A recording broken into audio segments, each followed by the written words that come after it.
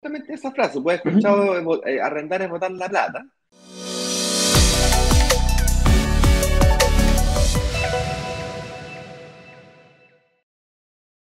Vamos directamente a la parte técnica, compadre. Mi opinión es la siguiente. Mi opinión técnica es la siguiente. Si el dividendo o la cuota de crédito hipotecario, que es lo mismo, es más alto, mayor, que el arriendo de la casa en la que estás viviendo, te conviene arrendar. Punto final. Si por el contrario el dividendo es más bajo que el, que el arriendo, es decir, si tú tienes que arrendar la casa en la que estás viviendo, el dividendo te queda más bajo, te conviene el dividendo. Facilito, ¿cierto? Bien, hay un solo detalle que no te puedes equivocar. Número uno, no vayas a hacer cosa que por tener dividendo, que es atrapado en la, pequeña, en la deuda de la casa propia, como comentábamos ayer.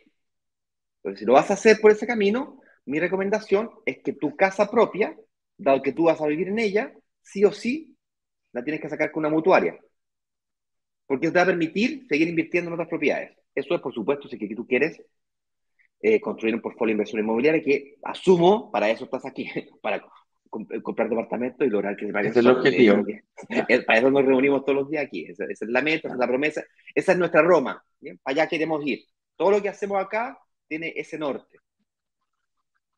Eso dicho, eh, hay otro detallito que no te puedes equivocar, ya lo adelantándome un poco lo que quiere decir eh, Eduardo, que es, bueno, si es que tengo que arrendar la casa en vez, en vez de dividendo, bueno, ¿qué hago con mi capacidad de financiamiento? O sea, efectivamente va a ser mejor negocio arrendar la casa versus comprártela, siempre y cuando el dividendo sea más, alto que el arriendo, pero eso es real o se materializa si solo si tu capacidad de financiamiento la inyectas en otras propiedades en donde sí se produzca este fenómeno en donde el arriendo es más alto que el dividendo.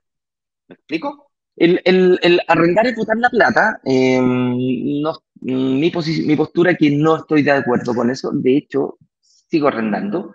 Eh, y he, ocupado mi capacidad de, financiamiento en departamentos de inversión.